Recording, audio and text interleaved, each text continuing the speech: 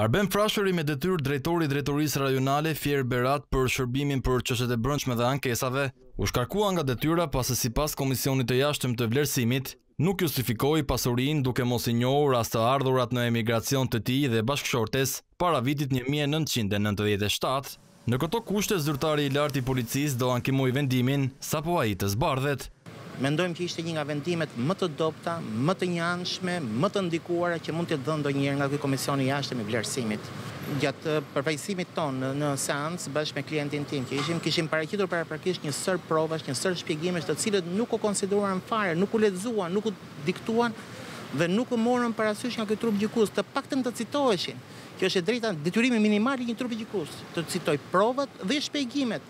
Ata vazhduan sikur këto shpjegime, sikur këto prova nuk ishin dorëzuar ndonjëherë nga ana jonë.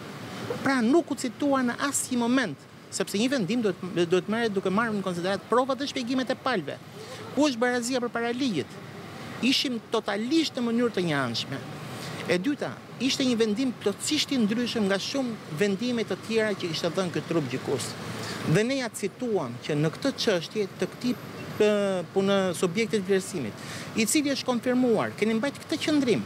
Kërkojmë nga ana juaj që ky qëndrim të mbahet edhe për rastin tonë. Për më tepër, në rastin tonë, Kishim shumë prova, në rastet që i kemi cituar Komisionit të Jashtëm të Vlerësimit, nuk kishte asnjë provë, por ata kishin marrë a priori, si të mirëqenë vetëm shpjegimet e palëve.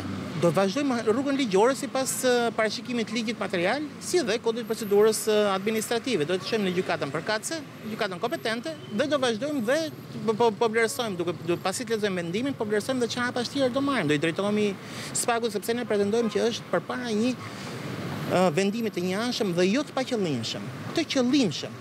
Edhe për Sindikatën e Policisë së Shtetit që monitoron procesin e Vettingut dhe kërkoi që për disa shkelje të shkarkohej drejtori i përgjithshëm Ardi Veliu, Komisioni i Jashtëm i Vlerësimit po operon me standarde të dyfishta. Për sa kohë Komisioni një palë e favorizon dhe një palë nuk e favorizon dhe shikon të njëjtat probleme që ka njëri ka dhe tjetri dhe në rastin konkret ky i dyti i pari kalon dhe i dyti nuk kalon do të thotë që këtu nuk ka komisioni është nuk ka besim domethënë ka humë besimin që një komision që do të zgjidhë problemet në bazë ligjit trajtimin e këtyre punonjësve për t'i dhënë atyre okejn për qëndrim ose për largim nga detyra.